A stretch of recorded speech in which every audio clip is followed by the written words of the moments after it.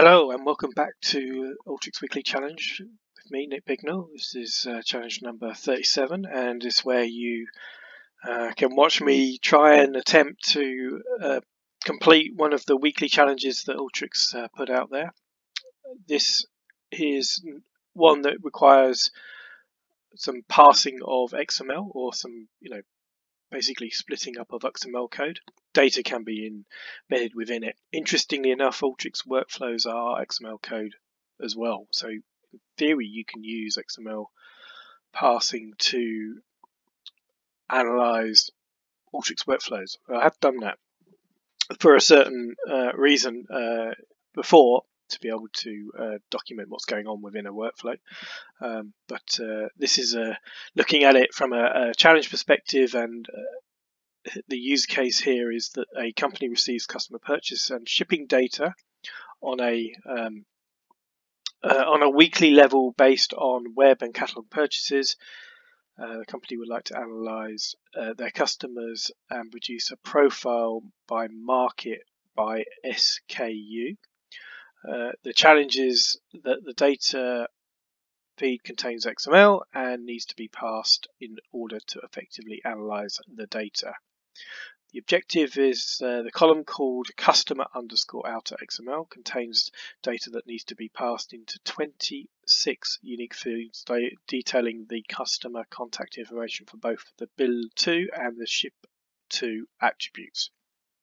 Okay, so let's have a look. So the first thing I think we're going to need is the XML parse tool, which looks like this, comes from the parsing tab.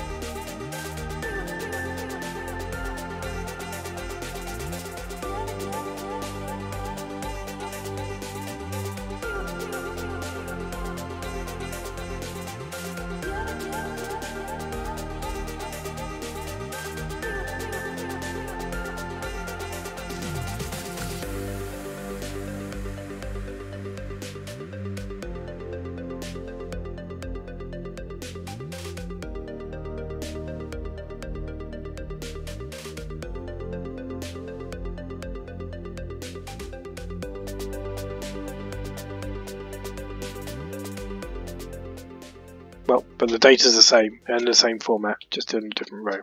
I'm going to call that as a good job. Thank you very much for watching and see you again next time.